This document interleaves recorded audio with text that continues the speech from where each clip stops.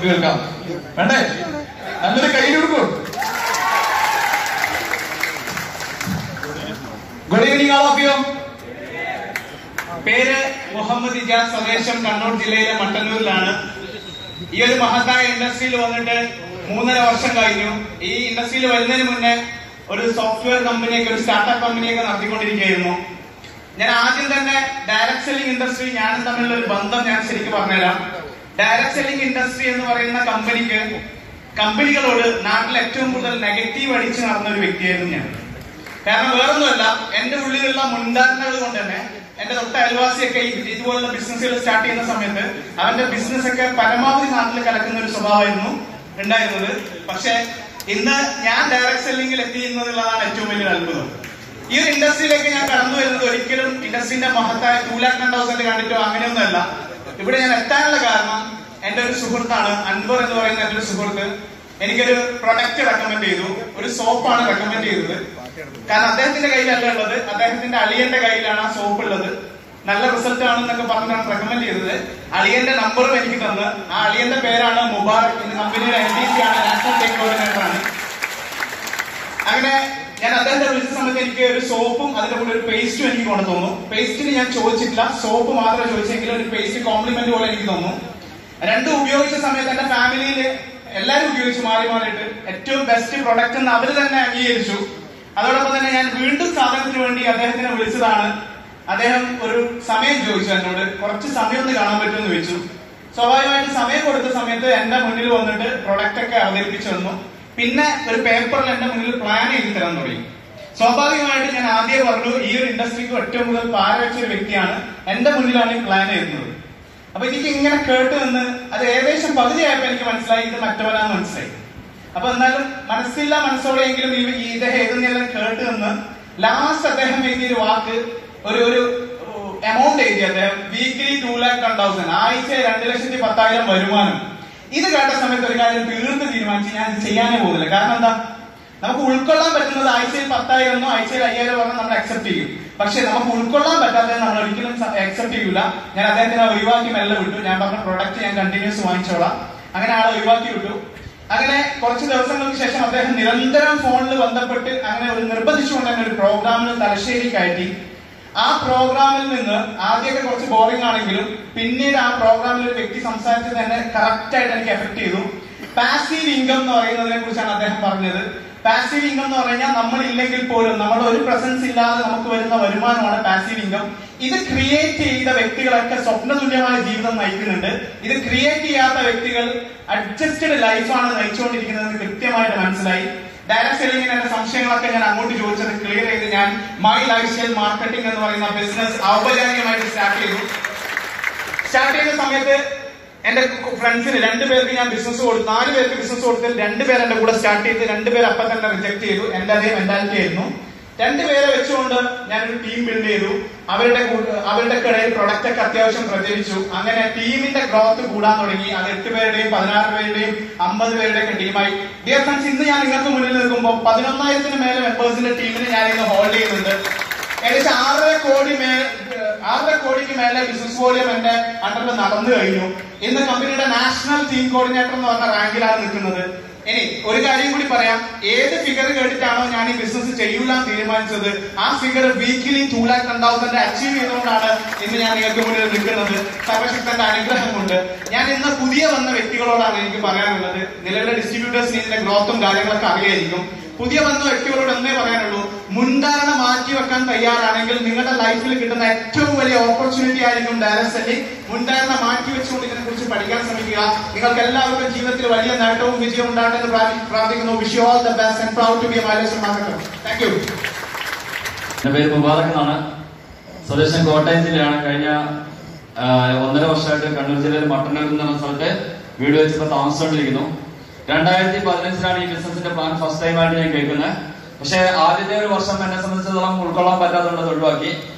പിന്നീട് ഒരു ട്രെയിനിങ്ങിലൂടെ എനിക്കിത് മനസ്സിലായ സമയത്ത് നാട്ടിലുള്ള സുഹൃത്തുക്കളോട് കുടുംബക്കാരോടൊക്കെ പറഞ്ഞ സമയത്ത് കംപ്ലീറ്റ് ആൾക്കാരും റിജക്ട് ചെയ്ത സമയത്ത് എനിക്കൊരു പ്രതീക്ഷ ഉണ്ടായിരുന്നു ഈ ബിസിനസ് കൂടെ എങ്ങനെയെങ്കിലും രക്ഷപ്പെടണം വേറെ വഴിയെല്ലാം അടഞ്ഞെടുക്കാണ് കാരണം ഇൻഡസ് മോട്ടോഴ്സിലും പോപ്പറിലൊക്കെ ജോലി ഒരു ആക്സിഡന്റോട് കൂടി തീരുമാനമായി.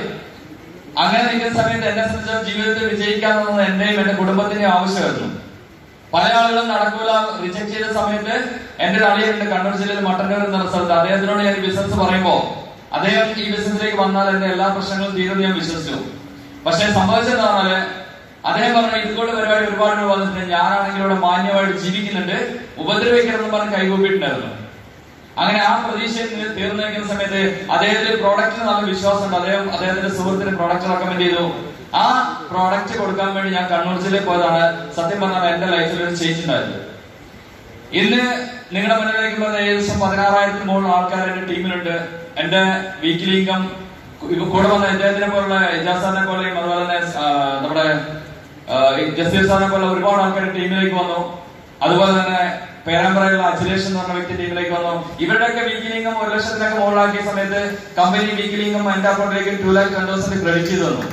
അന്ന് വരെ എന്റെ കുടുംബത്തിലും നാട്ടുകാരും ഒക്കെ വിചാരിച്ചത് മീൻ കച്ചവടം ചെയ്തുകൊണ്ടിരുന്ന ഞാൻ ഒരിക്കലും രക്ഷപ്പെട്ട് മുകളിലോട്ട് കയറി വരൂല എന്ന് വിചാരിച്ച ആൾക്കാര് എന്റെ അക്കൗണ്ടിൽ ടു ലാക്ക് ടെൻ തൗസൻഡ് കണ്ട സമയത്ത് അവർ പറഞ്ഞു ഇത് നിന്നെ പോലുള്ള ആൾക്കാരൊക്കെ നടക്കുള്ളൂ എന്ന് പറഞ്ഞു അങ്ങനെ നിൽക്കുന്ന സമയത്ത് ഇപ്പൊ ഇവിടെ നിന്ന് കടന്നു എനിക്ക് വളരെ സന്തോഷമുള്ള ദിവസമാണ് ഇന്ന് കാരണം ഞാൻ പലപ്പോഴും ഈ സ്റ്റേജിൽ കയറി വന്നിട്ട് പറയാറുണ്ട് എന്റെ ടീമിൽ ഒരുപാട് ആൾക്കാർ അച്ചീവ്മെന്റ് ഒക്കെ ഉണ്ടാക്കിയിട്ടുണ്ടെന്ന് പറഞ്ഞു.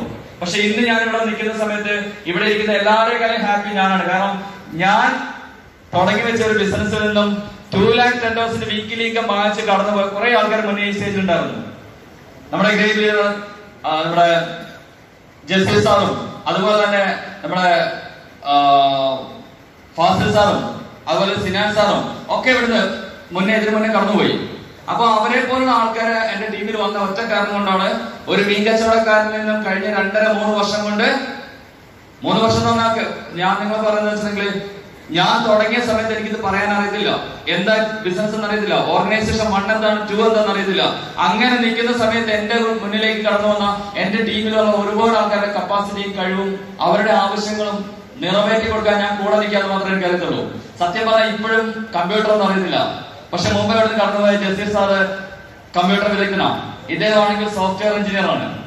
ഇവരുടെ കഴിവും അവരുടെ ആ ഒരു ആ ഒരു ടാലന്റ് ഞാൻ വളരെ വിദഗ്ധമായിട്ട് ഉപയോഗപ്പെടുത്തിയ സമയത്ത് ഡിയർ ഫ്രണ്ട്സ് രണ്ടായിരത്തി പതിനാറിൽ എന്റെ പേരിൽ ഒരു അപേക്ഷ പഞ്ചായത്ത് കൊടുത്തിട്ടുണ്ടായിരുന്നു. സ്വന്തമായിട്ട് വീട് സ്ഥലമില്ലാത്ത ആൾക്കാർക്ക് വീട് സ്ഥലവും വെച്ചു കൊടുക്കാൻ വേണ്ടി പഞ്ചായത്തിൽ നിന്ന് ലൈഫ് മിഷൻ പദ്ധതിയുടെ ഒരു ഭാഗമായിട്ട് ഒരു അപേക്ഷ കൊടുത്തിട്ടുണ്ടായിരുന്നു.